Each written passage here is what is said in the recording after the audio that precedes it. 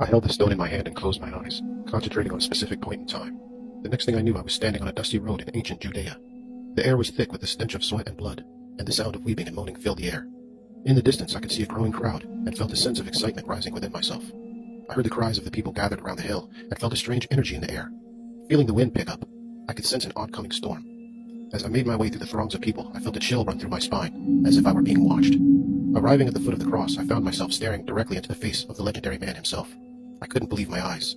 I had always thought of this man as a myth, a legend, but here he was, hanging on the cross, bloodied and beaten. I watched in horror as two thieves were nailed to the crosses on either side of him. I couldn't help but feel a sense of deep sadness and despair. Slowly, the crucified man turned his head to fix his eyes upon mine own. I froze, heart pounding in my chest.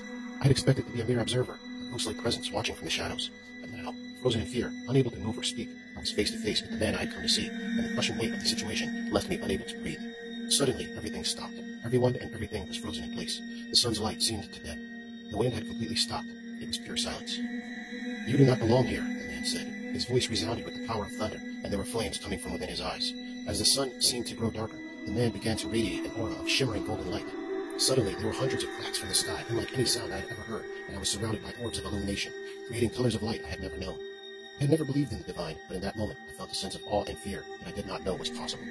I'm sorry. I, I did not know, I stammered. I just wanted to see. I wanted to know. The man regarded me for the longest moment, his eyes seeing through into my soul.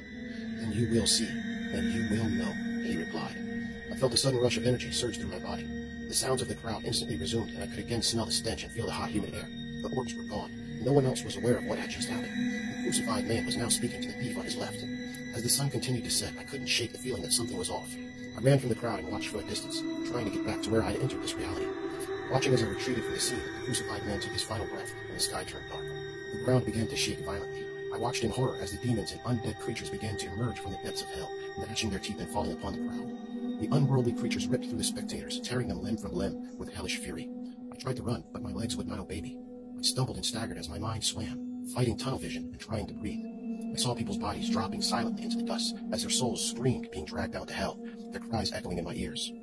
I could feel the screams of the dying and the laughter of the demons searing into the memories of my very soul. I was trapped in a living nightmare, unable to escape the horrors that surrounded me. I had to get back to my own reality. I saw countless souls being stripped from their flesh and consumed by the demonic horde. Continuing to flee, I soon found myself standing on the dusty road where I had arrived. I looked down at the Philosopher's Stone in my hand. With a deep breath, I closed my eyes and focused all my energy on returning to my own reality. I felt a spark of power as I activated the stone's magic, and then, nothing. I opened my eyes and realized I was still in ancient Judea. I tried again to activate the stone, but nothing worked. I was trapped, stranded in a time of horrors and demons. Hours turned into days, and I was trapped in a living nightmare. I watched as the demons began to take over the world, turning it into a place of darkness and despair. I saw countless atrocities and horrors, and I began to lose hope that I would ever make it back home. On the third day, something changed. I woke up to find that the sky was blue again, and the demons were gone. I felt a sense of relief, but I was still stranded in the past. All at once, I re- remembered the legend. I ran to the holy place I knew would save me. I ran to the place where several soldiers had placed the body and covered it with the boulder, needing all of their effort to do so. I watched in awe as I saw the stone moving on its own, and the man emerged from the tomb, glowing with a great light. I felt a sense of hope and relief flood over me, knowing that this was my chance to return to my own life. As I approached the man, I felt a sense of awe and reverence. I knew that I had witnessed something divine, and I felt an infinite sense of gratitude and respect for the man before me. Please, I said, my voice shaking with emotion, I need your help. I need to return to my own time. The man looked at me with knowing eyes and nodded.